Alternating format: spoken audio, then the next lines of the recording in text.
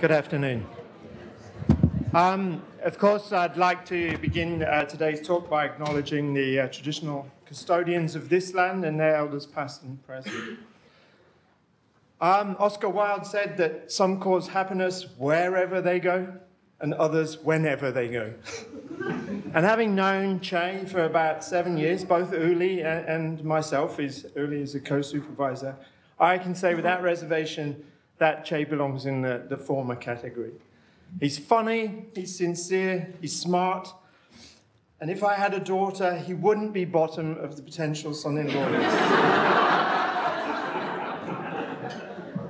I think that this full lecture theatre does reflect that I'm not alone in, in this opinion, uh, and uh, although some of you with real daughters might beg to differ. During his PhD, he's really worked hard and consistently. And I think during his talk, you're going to learn that he hasn't always been lucky, but he's really uh, persevered. And I think you'll appreciate, uh, as you see what he shows you, that he's really become a top notch uh, experimentalist. And he's got some beautiful gels to, to look out for in, in his talk. And finally, I'd, I'd, like to say that you know he set out to solve really quite a, a head scratch of, a, of a, a, puzzle in the field, and I think that he, through his persistence, through his thinking through this, he's really gone a long way to synthesizing a quite satisfying uh, explanation and understanding of, of quite a, a, bunch of contradictory data out there. And lastly, I'd just like to note that he has been accepted for a postdoc position in one of the top signaling labs in, the world, uh, Veit Hornung, so many of you will recognize that name. And he'll be taking up his position there early next year. And I think the reason that he has been able to uh, secure such, such a, a prominent uh, postdoc position is really because he knows his science, he enjoys his science, and it is a pleasure to have him around. Uh, and I'm looking forward to hearing his talk. Thank you.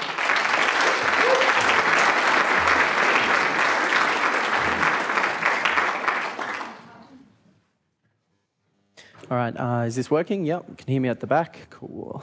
All right, thanks for that, John, of course. Um, I was told to enjoy this look. It's terrifying, but I'm. I'm um, all right, so I've decided to title my talk a nod to IAPs in inflammatory signaling. Um, and I really, it's, it is my PhD work for my completion. So we have massive and diverse communities of commensal microbes living all throughout our body, and the current estimate for the amount of these microbes is around one to one human to microbe. And these cells are really found to live covering our body, and especially in the gastrointestinal tract. So if we want to look at a very simple schematic of this, we have this epithelial cell layer which will create a barrier to protect, protect us from too much interaction with these bacteria. And then we have this mucus layer, which again will add to this layer of protection, but also these bugs are, or bacteria have evolved to utilize this as an energy source. So we sort of offer this commensal symbiotic relationship by giving some energy. We also, since we provide this warm, safe place for them to thrive and survive, we need to keep them in check. And this is through things like antibodies and production of defensins. And the commensal bacteria living in our gut will colonize and take up space and, and really have less pathogenic strains being able to take hold. And of course, in, in uh, and contribution back to us, of course, is that nutrients are provided through metabolism. Um, sort of sensing this environment and making sure things are kept in check are the immune cells, such as the innate immune cells, and also this talk to the adaptive arm. And they're constantly sensing and reacting, of course. So if bacteria levels change, they will alter uh, their response.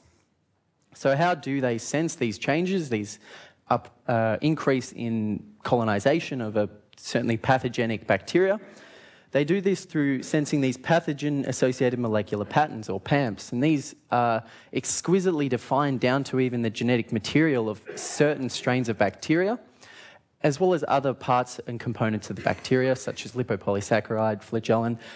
And more of my focus is the peptidoglycan cell wall component miramyl dipeptide, which is found in both gram-positive and gram-negative bacteria.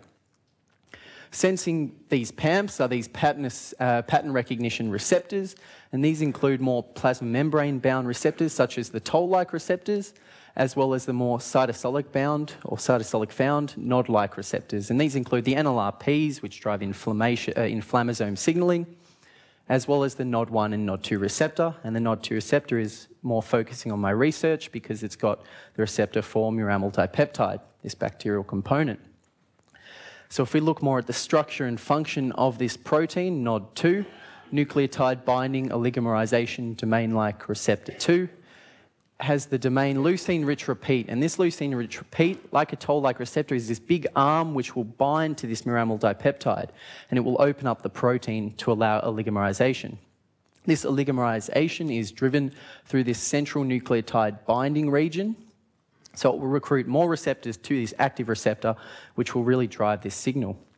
And upon its opening up of the receptor, it will release the card domains, which are, here's the crystal structure of them and it has dual, dual, car, uh, dual card domains which are driving this homeotypic card-card interaction with the vital adapter RIPK2.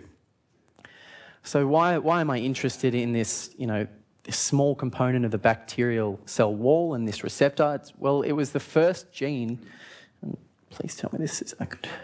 It was the first gene to be uh, shown to be associated with Crohn's disease, this inflammatory bowel disease um, which is in, its incidence is increasing.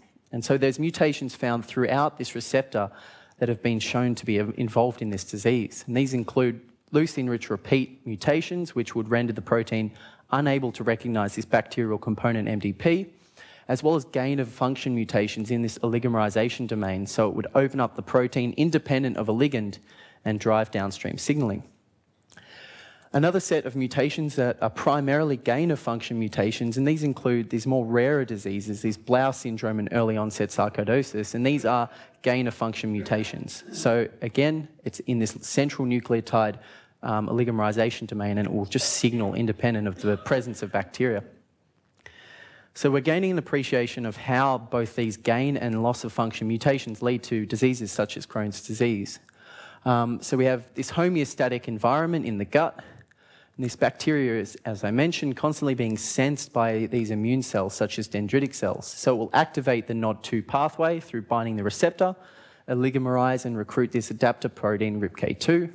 This will lead to gene transcription, and this will lead to functions such as this TNF, IL-6, and CCL2 mediated recruitment of monocytes. And this will lead to more immune surveillance across the uh, area. NOD2 is also shown to drive an adaptive arm of the immune response, and this is through Th17 activation, which will also increase barrier function and, in, and actually increase expression of the proteins such as mucin, this layer, and act, uh, antimicrobial peptides. Now, what happens in a disease setting when you have this mutation in the NOD receptor? So you have this more inflammatory environment in the gut and this is your mutant NOD2, say for a loss of function, you don't get this protective immunity, this in, it is protective inflammatory signal. And then you'll have more barrier dysfunction, and then you'll have penetrating bacteria, which sort of a feed forward mechanism. You'll have more immune recruitment, which is quite uh, inflammatory for the whole system. This leads to this compensatory immune activation, chronic inflammation, and things like Crohn's disease. So it, I can really appreciate if there's a mutant NOD2 where you have a loss of function, but the gain of function is not as clear. But I could imagine these cytokines, if there's a lot of these cytokines, it could lead to this barrier dysfunction. So it does offer itself as a therapeutic target, this pathway, to control inflammatory diseases such as in the gut. And to do this, we target this vital adapter RIPK2. So you have this receptor, and then this adapter is recruited. So receptor interacting protein kinase 2, it's a typical kinase, and it's shown to be able to serine, threonine, tyrosine phosphorylate. And its kinase function is really just to autophosphorylate itself. That's really all the literature, literature has been shown. Um, it has these dual, uh, it has a card domain, which is not pictured here in this crystal structure, and that is binding to one of the cards of the receptor after it oligomerizes. The main function of this protein that we've gained appreciation for is that it as is a scaffold. So this protein, this kinase, sits at the receptor and will be ubiquitinated. And this ubiquitination will allow downstream recruitment of factors and eventual signaling. So NOD2 and RIP2 in the bowel, in the uh, homeostasis of the gut has been shown. I've shown you that today. It's also starting to be shown that this receptor and, and RIPK2 may be playing other roles throughout the body, and this includes in the brain, such as in multiple sclerosis. So, what has been found is that in multiple uh, sclerosis patients, the lesions in the brain have uh, peptidoglycan found in these lesions. So, this is pictured here. And so they hypothesized that perhaps in an experimental uh, autoencephalitis model, where they sort of uh, model this bacteria within the brain to increase the inflammation, that perhaps NOD2 is playing this role. And so I've sort of detailed this here. You have cells like dendritic cells will take up this peptidoglycan and along with myelin-specific T cells will take through across the blood-brain barrier and activate this NOD2 pathway. So this inflammatory signal will occur within the brain. This will then result in more immune activation and recruitment, as well as these T, uh, this T, uh, Th17 driven immune response against peptidoglycans within the brain. And this will then lead to neuroinflammation, demyelination, and paralysis. And what they were able to show, in Immunity in 2011, was that in wild type you get this inflammation, but in the NOD2 and RIPK2 knockout, it was protecting, protecting the mouse cohort to some degree against the clinical score. So increased score means more paralysis. So this implicated that the NOD2 pathway seems to be aiding in the progression of this disease. So we saw this and we are in a really good position, and I just want to detail Guillaume Lessen is the chemist driving this compound. We were, able, we were able to publish that the use of a RIPK2 inhibitor, this vital adapter, if you inhibit it, you can control the disease uh, progression in this multiple sclerosis model. So we have WEHI345, this ATP analog, will bind to the kinase domain, and it will decrease the overall cytokines within the mice. And this will then lead to this clinical score being protected. And we saw half the cohort of mice showing this protection against inflammation and then paralysis. So the literature detailing targeting this protein for an inflammatory response, this is again this crystal structure bound to a kinase inhibitor. The literature has said if you bind a kinase inhibitor to this kinase, it will stop downstream signaling, and this is what they thought would be because it would stop autophosphorylating itself. When we had a look at it with our inhibitor, we started to appreciate that it wasn't the autophosphorylation nature of the protein. It was actually the fact that when the kinase inhibitor bound to the protein, it would change its conformation and break interacting partners. And we could show this when we purified RIPK, uh, we, sorry, when we purified interacting proteins, so CIP1 and XIAP, purified them GST tagged, we were able to pull out RIPK2 from supernatant and we could elute. So when we put the compound in, it would elute and break interacting species, uh, specifically these. So we started to understand, well, perhaps it is not the kinase activity of the protein that's important, it's the overall structure of it. And that's where my PhD came in. That's where a big question was, all right, what is this compound doing to this protein? How is it breaking the interaction? And I decided to take a structural biology approach um, to this question. And big aim was to purify human recombinant RIPK2 and bind it with the compound and see if we can get a crystal structure. And I'll only detail due to time just one step of this purification process, but what I was able to do is purify large amounts of this protein, and it's very pure concentrate it, and then when using the C3 facility, got some really nice looking crystals. I was very proud of this. This one was my favorite, and, but it was salt, so I, it's not my favorite anymore. Um, so we took these crystals and we went to Monash, the uh, synchrotron, um, and through you know, really dedicated help through Anisha and Isa, they, they were able to solve this structure for me of RIPK2 bound to this inhibitor. But I don't know how the structural biologists do it. It was a lot of work, and we didn't get our answer because it didn't have these key residues being resolved, these alpha C helix, the activation loop, and even a part of my compound wasn't resolved. So I couldn't see how it was impacting on the overall structure. So I've sort of added them in just to appreciate that these are the key residues that I needed and they weren't there. This is probably what they'll look like. so it is ongoing work. I'm sorry, structural biologists, that's probably very insulting. Um, so it is ongoing work and I can purify large amounts of the protein. So I am going to continue this in the last leg of my PhD because um, I really do want to find out how it is impacting. because we think it is duly, uh, pu- purely because of this breaking into the, the, interaction. So, these interacting partners, I mentioned them, these IAPs, let's put this in the context of the signaling pathway. So, we have our bacteria, and the bacterial component MDP enters the cell through an endosome. It will recruit this NOD2 receptor, will come along to the endosome and grab it through the leucine rich repeat, oligomerize, and recruit RIPK2, this kinase that we target. It is a scaffold protein, and this scaffolding is driven through, as I mentioned, this CIAP1 and 2 and XIAP proteins. Either, these are E3 ligases, they'll ubiquitinate the protein as a scaffold and recruit downstream factor LUBAC.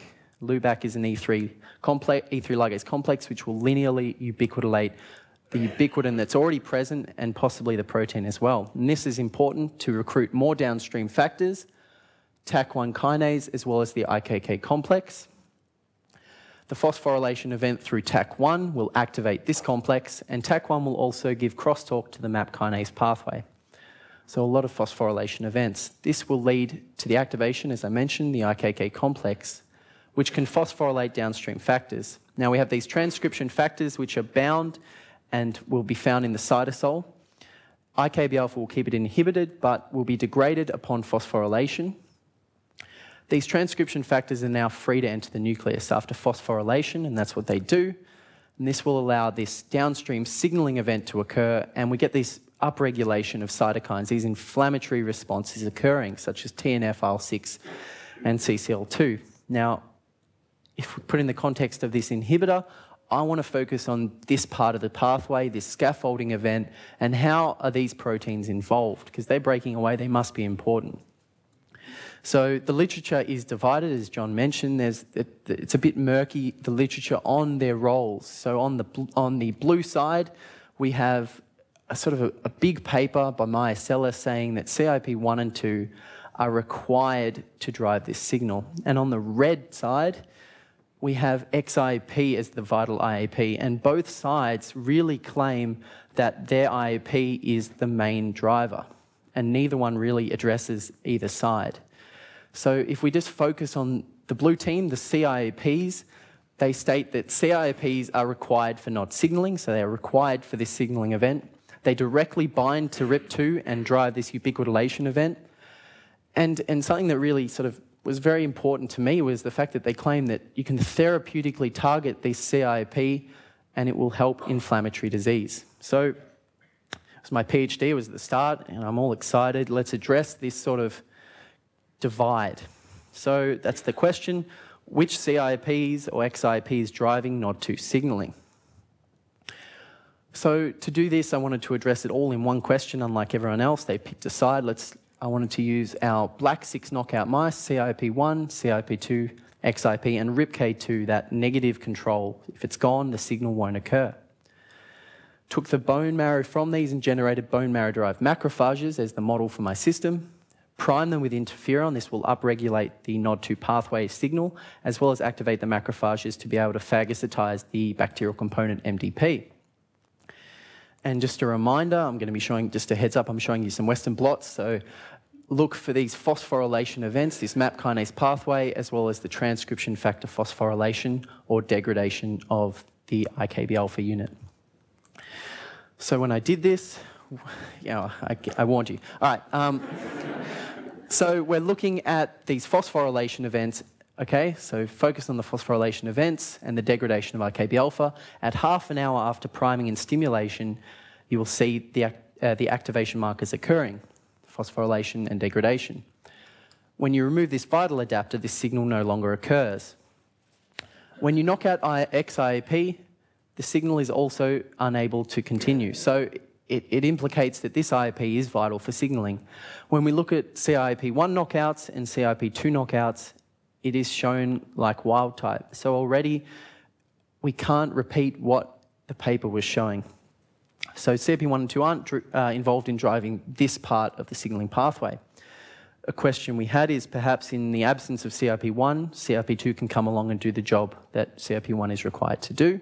So I took CIAP1 and 2 double knockouts. So again, these activation markers are occurring at half an hour. When you introduce the XIAP knockout on top, they aren't signaling at all, so that's starting to be consistent. And in three mice of the double knockout, this signal is still occurring. So CRP1 and 2 redundancy is not playing a role.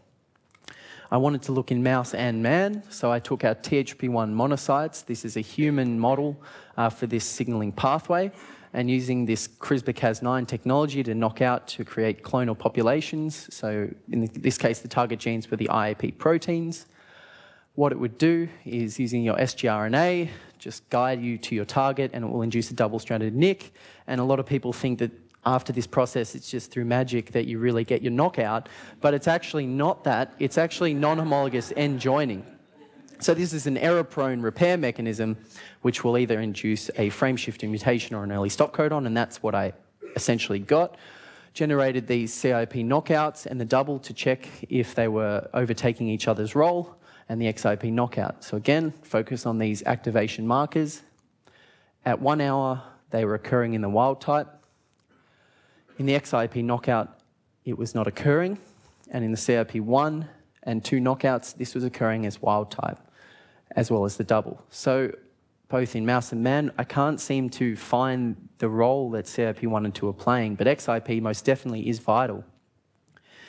So after this, down, this signaling event occurs, you get cytokine production. I wanted to look at that. Perhaps they were playing some other role that will drive this cytokine production. So went back to these bone marrow-derived macrophages, after 24 hours of treatment, looked through ELISA at TNF and IL-6, these inflammatory cytokines. And when compared to the wild type in red, after 24 hours, you see a strong induction of cytokines. The CRP1 and 2 are still signaling. XIP and RIP2, these vital adapters, are not able to signal. So, and in fact, I've got to point out, CRP2 had a stronger signal. So these early signaling events are not occurring differently in the CIP1 and 2 knockouts. I wanted to ask the question, well, perhaps ubiquitination is being altered. They're E3 ligases. And in our lab, we have these ubiquitin binding domains which will pull out anything that's ubiquitinated within a cell. So I wanted to establish this system in the THP1 monocytes. And after 15 to 20 minutes, you see this strong induction of ubiquitination, this scaffolding event occurring.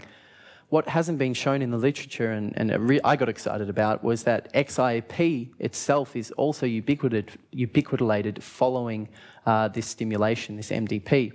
And this, of course, corresponds with downstream activation. At the later time points, we also observe this from zero to half an hour, this strong induction.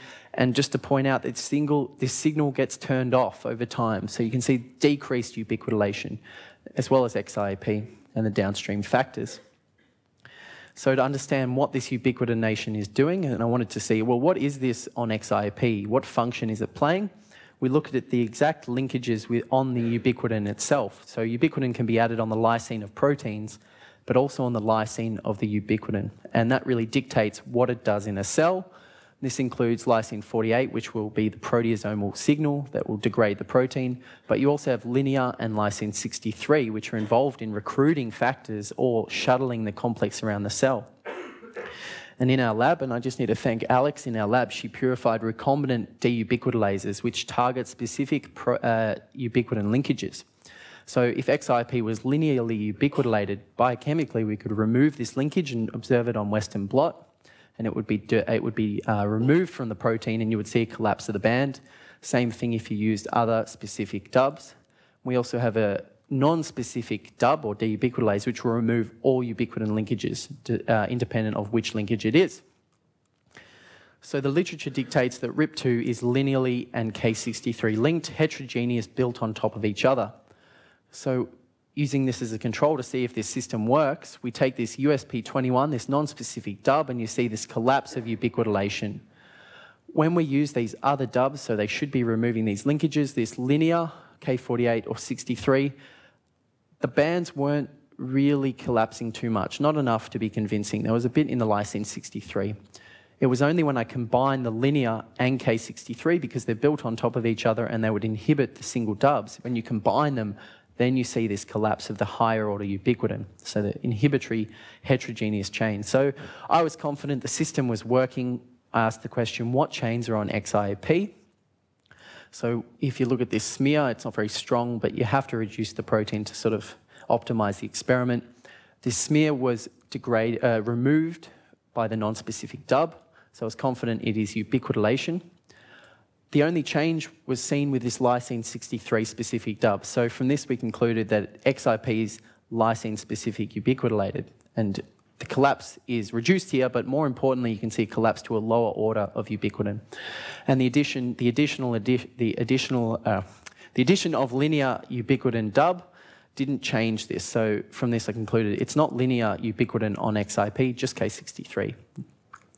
So coming back from that little side quest, I'm still trying to work out which lysine on XIP is being ubiquitinated. The big question is which IP is driving the ubiquitination on RIP2?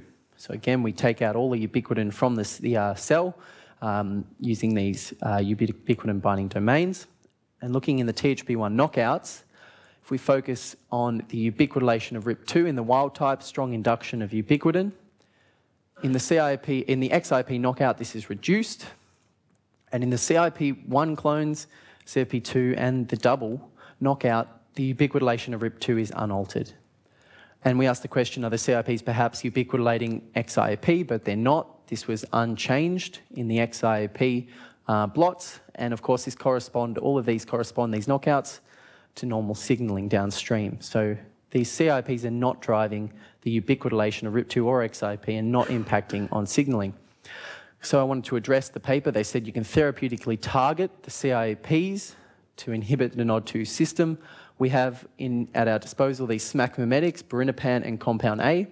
Both will target CIP1 and 2 and degrade quite potently. The difference is that compound A will target XIP potently at very low levels, but birinapant will preferentially target CIP1 and 2, so less of XIP. So there's this slight difference I exploited to look at this question. So do the CIPs impact NOD signaling if you inhibit them? I took these THP1 NF kappa B reporter cells. So when you activate the NOD pathway, you'll get GFP production. And we can measure this on the FACS and look at the mean fluorescent intensity. So when we did this, with no birinapant in the system, so CRP1 is there, you see this strong induction of GFP.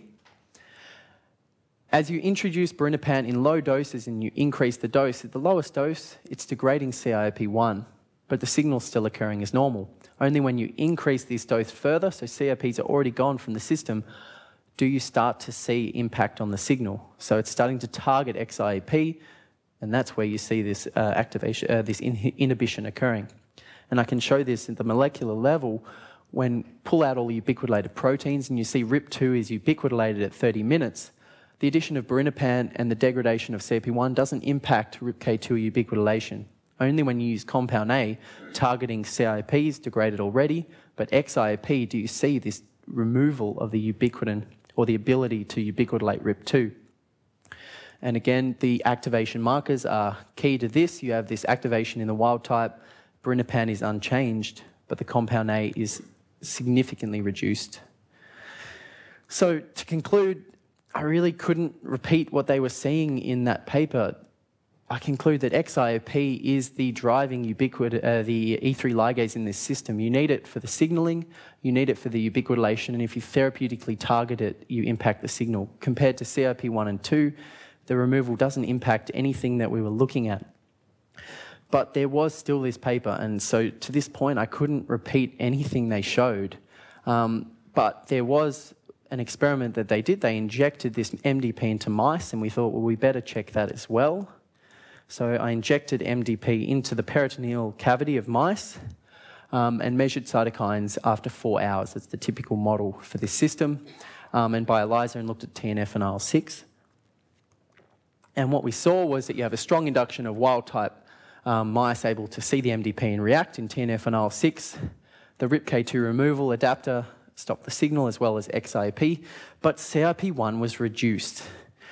And I was like, what the hell? Like, all of this work showed that they're not involved, yet the mice seem to need it to respond to MDP.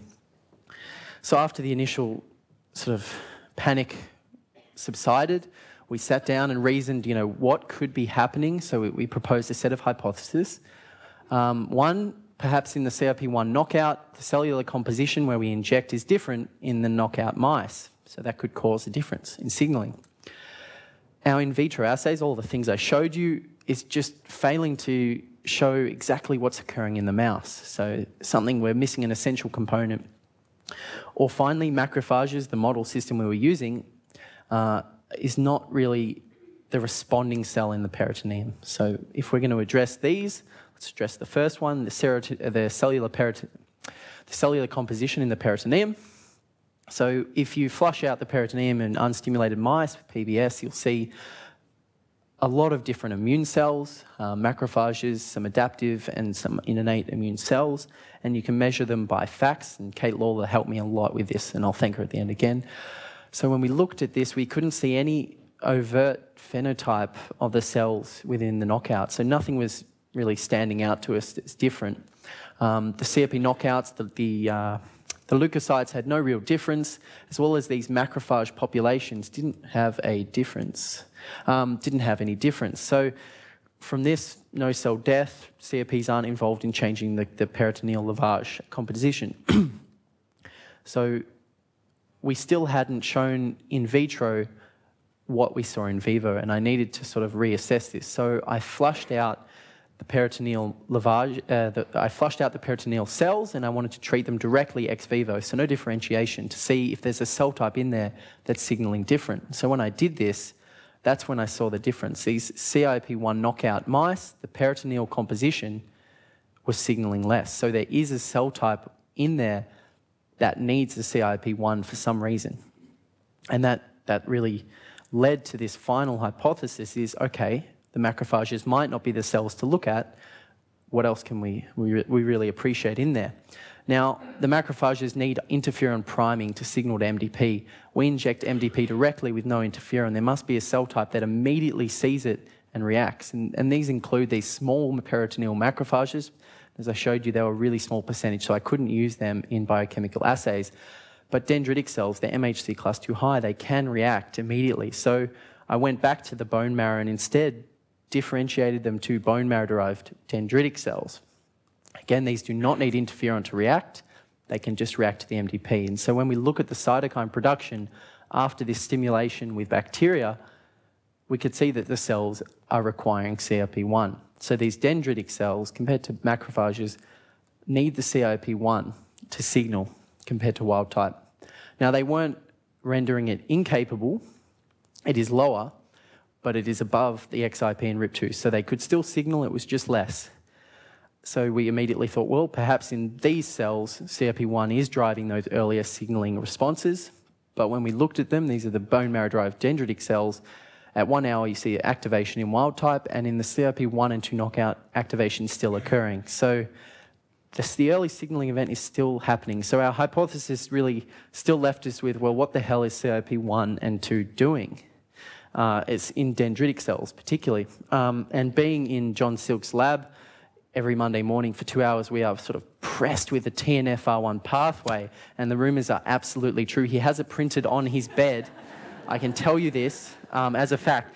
So every, every, mo- every Monday morning, we can see this and we think, okay, cIAP1 and 2 are involved in the TNFR1 pathway. Perhaps is this involved in the MDP response? And so I hope you've appreciated that in this part of this pathway, NOD2 needs RIP2 E3 ligase is XIAP. We have this TNFR1 pathway, if we're going by the bed sheets. TNFR1 will bind TNF and recruit downstream factors TRADD, TRAF2, and RIPK1, another kinase in this kinase family. And this is ubiquitinated by cIAP1 and 2. And this will drive NF kappa B activation and cytokine production. so we thought, oh, we may as well. We've got the mice, let's test it. What happens if you put MDP on TNFR1 knockout mice? And they were the same as cIAP1. So they were signaling less. This signaling pathway, which we never would have thought about, I was happy to think of just NOD2, just in my own little happy signaling pathway. This TNFR1 was signaling less. And we wanted to recapitulate this ex vivo, so took out the peritoneal cells. Is it responding here less? And it is indeed. The TNFR1 was producing less in these cells were producing less cytokines. So that was exciting. We're still like, all right, how is this happening? And so I proposed sort of this mechanism, and I'll let's sort of step through it with this beautiful picture. So we have NOD2 binding to the MDP. You have this signaling pathway, which you're familiar with now. You get this ubiquitination through XIAP, and this will produce low levels of cytokines, TNF, IL-6. You'll also have interferon gamma in the system being produced. This TNF, this low level TNF, will then activate the TNFR1 pathway. So it will go either bind to its cell, uh, the same cell it produced or elsewhere, for instance, on this now activated macrophage. So it will bind and you'll get this recruitment of this signaling complex. cIAP1 and 2 are involved in this process, and they will drive the ubiquitination of this event, and now you will get more cytokines in the system. So together, you need both of these processes to occur for a, a whole MDP response. I wanted to see this directly. I mean, it, it, it sounds good on paper. So I took these macrophages, wild type and TNFR1 knockouts. So these in the mouse cells, you see XIAP ubiquitination at 30 minutes, as I've shown you before. The RIP2 blot's terrible, the antibody is not good in mice. So we'll go by the XIAP ubiquitination, and you don't get RIP1 ubiquitination after MDP, that's known. The TNF is produced from this signaling pathway, activation, and then you get RIP1 ubiquitination.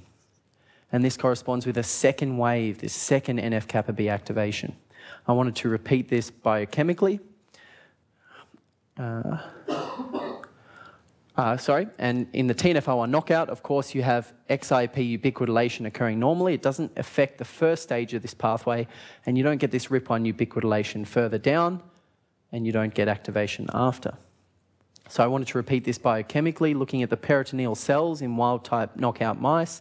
You see a strong induction of cytokines, IL-6. If I took out the TNF from the supernatant using a TNF blocking antibody, I rendered the wild type incapable of amplifying its signal. So now it's signaling the same as TNFR1. So really, we're seeing this raw NOD2 cytokine amount, no amplification. And so this is where I'm at now. I'm appreciating that there's real strong crosstalk between these two pathways, and we're starting to ask, well, are they just doing in one go, or is it looping back? Are they upregulating each other and talking? And that's sort of where I'm at in my PhD now. In the last leg, I'm asking these questions. And so this is sort of the end, and I'm asking myself, what have I learnt from my PhD? What have I appreciated? Um, well, I have added to the field. I haven't just clarified two big groups that are sort of ignoring each other and saying, no, we're right. We're actually, you know, we're adding to the field where it's less murky now and uh, adding a new aspect that perhaps can lead to further appreciation of this pathway. Another thing I really learned and appreciate is structural biology is hard and it doesn't always result in what you want. Um, so you've got to stick at it, and I will. I really want to continue this structural biology aspect and develop this RIPK2 compound. Collaboration is key to success. The things that I did, I went and knocked on Isabel Lucet's door and said, teach me structural biology, and she did. And so really use the collaboration in your PhD. It was really helpful, um, and it was really good. And a big thing is that I have learned to appreciate my research in the bigger scheme, you know. We are combating disease, and so how does my research fit into disease? So if we sort of apply this philosophy, and I want to and I want to sort of quote uh, uh, Sun Tzu, why not? Um, if you know the enemy and know yourself, you need not fear the result of a hundred battles. So if we want to apply this to a more biochemical theme, if you know the disease and the related signaling pathway in detail, you need not fear it, for you can treat it or even prevent it. so applying this philosophy, let's Applying this philosophy, let's sort of bring it back to earlier in my talk. I mentioned that these peptidoglycans are found in multiple sclerosis patient lesions. So TNFR1 and TNFR2 are upregulated in multiple sclerosis patients. So is TNF. So we have TNF in the system and especially at the site of these lesions. So you have upregulation of both. Now, does anyone know what happens if you target multiple sclerosis patients with TNF blocking? Anyone? Yep. Yes, it goes badly. Thank you. It actually makes them worse, unlike what you'd think. So it makes the, the disease worse. I'm so glad someone answered then. That would have been very awkward. Um, so they're starting to realize that TNFR1 and TNFR2 have opposing roles in this disease. TNFR1 drives CNS inflammation and damage, and TNFR2 leads to repair. So you can't remove TNF completely from the system because you'll impact this pathway. That's where the main, you know, our protagonist, the WEHI 345, this kinase inhibitor, and this pathway come in NOD2 activity leads to TNF production and TNFR1 activation. So you can see how it could exacerbate the disease. If we use our inhibitor, it will not remove TNF from the system because there are other sources. It will just reduce this overall inflammation. And, and this is where we saw this protection in the mice and, and hopefully one day with our inhibitor in humans. On that little thought, on that philosophy, it's really what's left is the acknowledgements. Um, I will start with my supervisors. As John said, I've been, you know, seven years, known them, um, over four years in PhD. So thank you very much, gentlemen. Um, I had to show an embarrassing photo. I had worse. Um, so thank you very much. I really appreciate it, and it's been amazing time. So thank you. Um, next is Isabel Lucet. I don't need to show a horrible photo. She's just been nice to me. So thank you, Isa. um, thanks, Isa you've been such a great support, and I look forward to working with you more. Um, the next big appreciative thank you is to the division. Uh, you guys are awesome. You're like a family at work. You're so kind, uh, interesting, and, and just, you know, it's, it's been really good. So you've all been really great. Um, Alexandra, James, and Sam, special mention from the division. You guys have helped in either purifying those proteins or getting me through the cloning steps of the crystal biology. That was horrible. Um, the committee, James Vince, Tracy, and Andrew Webb, great support throughout. Um, all the members of the MGC uh, people, again, you're all on the same floor, always interacting with you guys and allowing me to steal your stuff. Uh, the proteomics lab, special mention to Jared Sandow. He's been awesome with the mass spectrometry, and we're trying to describe that lysine uh, ubiquitination on XIAP, so that, that's exciting stuff. Immunology Division, Ifan and Andrew are both with the multiple sclerosis stuff in that Nature Comms paper.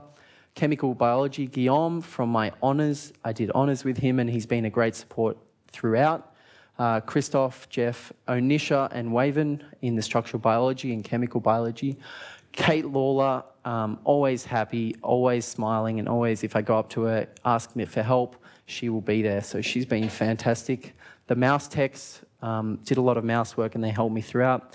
Special thanks to friends from the curry group and the dumpling group on Wednesday, um, and family and friends, uh, of course, throughout the whole PhD. It's you know, it is a bit of a marathon, and a special thanks to Nan, who's here today, always reminding me and my friends on my Facebook wall that I'm handsome. So thank you, Nan. um, and thank you for listening.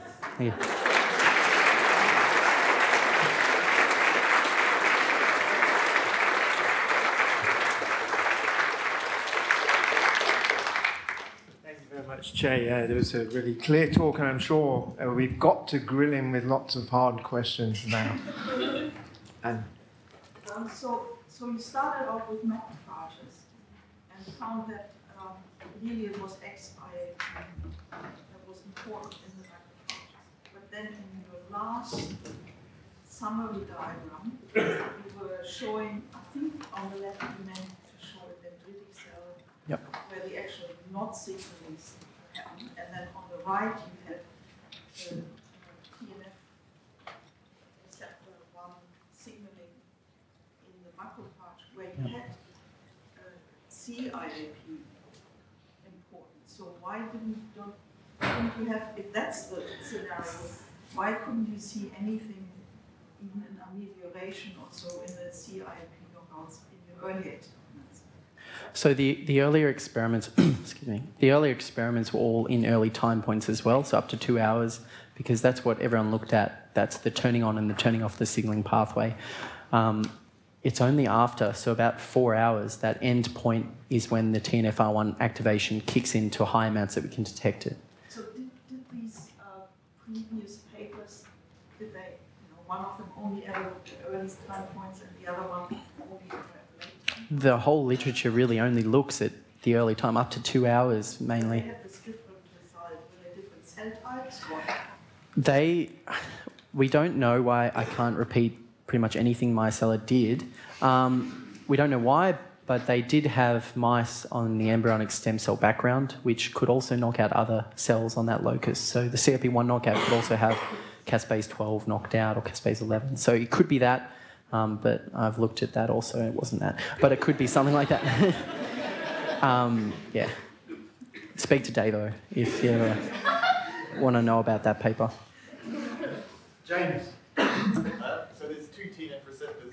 Did, did you look at TNF receptor 2? I didn't. Um, of course, in the interest of time, and we should just have a look. But the fact that in the TNFR1 knockout it is so low already, TNFR2 isn't going to be playing a big role in this early part. So yes, I should, I should, but it, it won't make a big difference on that graph in the sensitivity. Justin. Che, you showed a pretty nice experiment with birinapant implicating XIAP, ruling out CIAP, and you mentioned compound A, but I missed any experiment with compound A. Was it in there? Did you did you use that as well to show more definitively? Yep, that was in the um, the ubiquitination. So the Just a couple of lots. I got a bit lost. Yep, yeah, of course, yeah. Not going to apologise, I love Western blots. Um, so, this experiment was showing birinapant. Now, if I put compound A at these doses, it would be flatlining. The MDP pathway wouldn't occur. When you look at the ubiquitination of RIP2, birinapant is occurring, birinapant treatment occurring normally, the half an hour, but in compound A at this half an hour, it's not happening. So, that, that's where it was implicating. Becca. So, in your XIAP knockouts, you still got quite a decent ubiquitination of RIP2. What's the E3 So, that has been shown in the past in, in XIAP knockouts, you still get ubiquitination, and that's when they concluded, well, it's probably cIAP1 and 2. Because there's no signaling happening downstream or lower, I don't think that cIAP1 and 2 are needed for it, but perhaps because they're there at the complex, because XIAP is gone, there's a free space, they may just be doing it uh, unregulated. Then would you lose it there with compound? Yep. So compound A, this is the low dose of compound A. If I increased it, perhaps it would decrease more. I haven't tested it. But we're not degrading XIAP from the system. It is still there. We're breaking it away somewhat, but it could be still binding. Or the other possibility is there's another E3 ligase in the system. That is the other one, and that could be it. Um, yeah, it's been shown by us and others that XIAP is needed to ubiquitinate, and that recruits Lubac. So it's XIAP first, or another E3 ligase. David. At the start, you mentioned that uh, some of the mutations in Crohn's disease are gain of function mutations to the nodes and some it's loss of function. Has any of your later work explained that conundrum? So the loss of function mutations, I'll give you an example. One in the uh, the card domain, and it's not in the card that binds RIP2, it's the other one, and they're saying it's because it doesn't bind to the endosome anymore. So it doesn't really relate. The mutations, in mixture. to So get the, to get the disease? You have to have a, if a loss of function, you have to be uh, homozygous loss of function to get no, you can be hetero- heterozygous, and you know the, these mutations are really associated with the disease. So 30, you know, up to 30, 50 percent of Crohn's disease patients have these mutations. But of course, healthy people do as well. So it's always, um, you know, a multifaceted faceted disease. But it, you can have a reduced function, so heterozygous, and it will still cause disease or progress disease. But to answer the question, I mean, you've done. You've Sorry, what was the question then? Went off on a little rant there. I was still just wondering how gain of function to the same protein as loss of function causes the same disease, and whether any of your Sorry, I forgot about that part. Yeah, yeah. So, so the loss of function is clear. Yeah. So the loss of function is clear, of course, um, but the gain of function is less clear. It's producing more cytokines in the system, so you're probably getting an inflammatory response. So you might be getting more immune cells. It's really not clear. It's known, but yeah, we don't. And to my research, I haven't looked at or thought of it really. So yeah. I guess following on from that question, with the inhibitor, have you looked at their gut function? Is there any concern that you're compromising the sort of microbiome sort of function in the gut with your inhibitor? Well, the inhibitor treatments were really short treatments. This is not long term and it has a really short half life. This inhibitor is an infant, if you think of it as the drug. It's a small compound and we want to add to it. So it gets cleared out of the system really quickly. Because I showed you that NOD2 is important in homeostasis, yeah, it probably may cause uh, some disruption, but there are a lot of other um, receptors that are detecting and regulating this system as well. And this, this, this really targets RIP2 very specifically. So just take, taking this pathway. I'm not sure you understood the question because he asked in the knockout mice whether was, uh, if I'm correct, that, that it was a, that the knockout microbiome might be affected. No, I thought it was the inhibitor if it caused disrupted the microbiome. Who's right? Who's right? No. I stand Uh, can I just ask about your philosophy? Um, so it seems to be based on the EAE model, right? And what's the effect of knocking out TNF in that EAE model? Isn't it good? I mean, that's why they tried it in the patients and it doesn't work, right? Yeah. And isn't that your justification of using the inhibitors in, in humans?